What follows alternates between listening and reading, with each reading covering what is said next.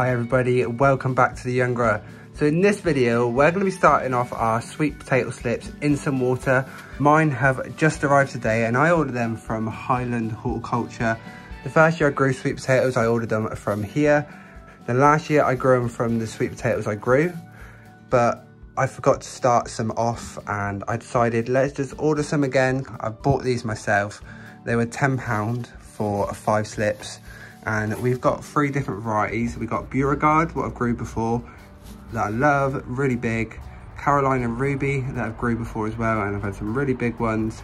But this one here is a new one for me, Molokai Purple, and it's a beautiful purple sweet potato. As soon as I saw it, I said, oh, I need to try that.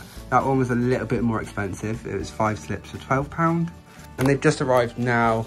And if you want to get some ordered, there should be still plenty of time to get some. To start off with, we need to unpack them. And we have some jars here that we're gonna place them in with some water and that is gonna make them root.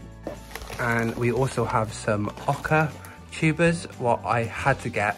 So let's get these out of the plastic and put them in these jars. So on these ones, you can see it's already got roots. So what we're gonna do, place them in the jar and then we're going to fill the water up. And some labels up already just so we don't forget which ones are which and get them mixed up. They do look a little sad at first but i wouldn't worry too much. They will come back. Previously they've come back really well and you'll see that for yourself very soon. This is the final bunch and that's the Beauregard and so i don't end up destroying the roots when i take the elastic band off i'm just going to cut it and undo it that way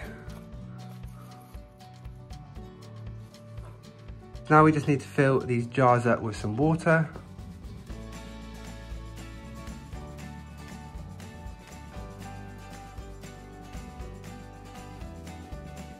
And there we go. I'm just going to put these on the draining board for tonight and hopefully they should all come back to life and there'll be no more droopy leaves.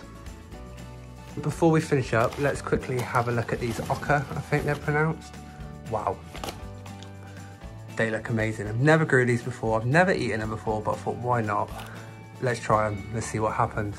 Anyway, we'll catch up tomorrow and see how they're getting on. So somehow I forgot to film the ending to this video, but the sweet potatoes did really well. I put them in the water and you can see they bounced right back. I'm gonna get ready to plant these very soon, so keep an eye out for that video. But if you would like some inspiration and information, go back and watch my videos from the previous years and there'll be some tips and some stuff there for you to learn. Thank you all for watching and we'll see each other soon.